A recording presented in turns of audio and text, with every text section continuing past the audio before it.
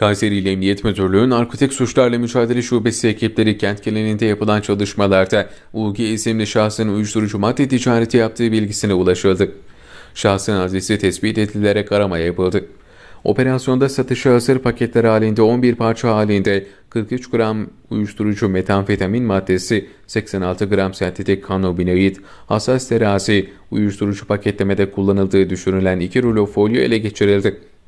Olayla ilgili UG isimli şüpheli uyuşturucu madde ticareti yapmak suçundan gözaltına alındı. Şüpheli emniyetteki işlemlerin ardından adli makamlara sevk edilecek.